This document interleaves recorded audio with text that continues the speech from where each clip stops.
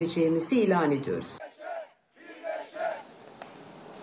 Yarından itibaren sağlıkçılar iş bırakacak ve bizler Tele1 ekranlarında elbette onların yapacağı açıklamaları da sizlerle paylaşacağız. Ekranlarınıza getireceğiz efendim. Gözlerimiz geçen hafta içerisinde Akbelen'de Muğla'nın Akbelen ilçesindeki o zümrüt yeşili ormanlarda yapılan o çalışmalar.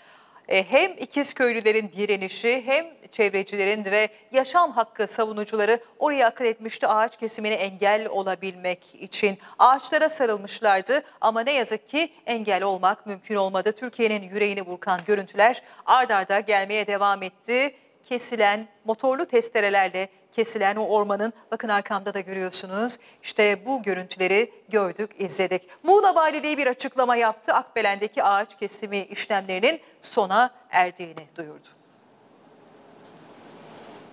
Milas ilçesindeki Akbelen ormanında yapılan ağaç kesiminin tamamlandığını duyurdu valilik ve valiliğin açıklamasında dikkat çeken ayrıntılar da vardı. Zira kesim sürecinde yaşananları, süren protestoları provokasyon olarak değerlendirdi Muğla Valiliği. İdari çalışmalarında başlatıldığını söyledi bu yaşananlar doğrultusunda ve aynı zamanda valilik vatandaşları bu tür provokasyonlara karşı dikkatli olmaya çağırdı. Yani ağacına doğasına, hayatına, geleceğine sahip çıkmaya çalışan yurttaşların e, bu protestosunu ve ağaç kesimini engelleme çalışmalarını provokasyon olarak e, yorumladı valilik.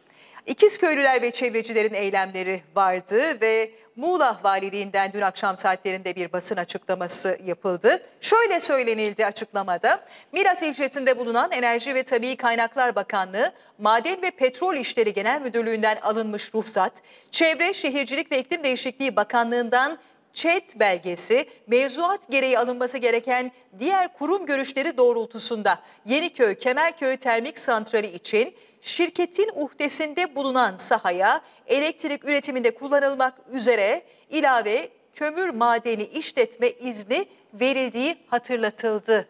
Akbelen'deki bu ağaç katliamına gerekçe olarak.